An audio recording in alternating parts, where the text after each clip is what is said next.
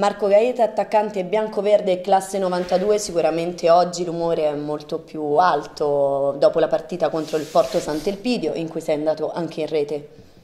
Certo, per un attaccante è fondamentale segnare, è sempre molto importante, quindi ogni volta che, che riesco a segnare sono molto contento sia per me che per la squadra, soprattutto se il gol è finalizzato ai tre punti.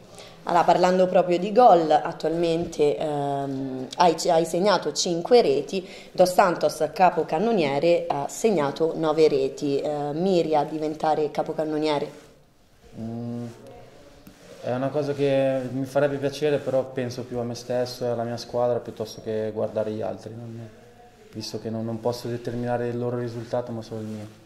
Quanto è stata importante questa vittoria contro il Porto Sant'Elpidio, la prima fuori casa?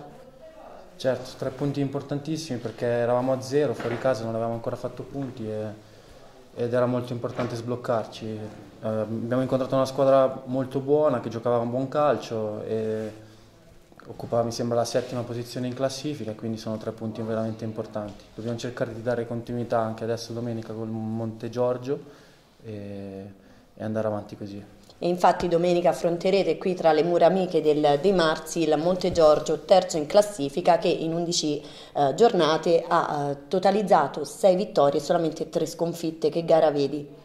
Mm, sinceramente non, non, conosco benissimo il Monte Giorgio, avremo modo di, di informarci, prepararci, e, però ripeto è meglio concentrarci sul nostro percorso, su di noi e, e migliorare noi stessi, che è la cosa determinante penso. Ringraziamo Marco Gaeta.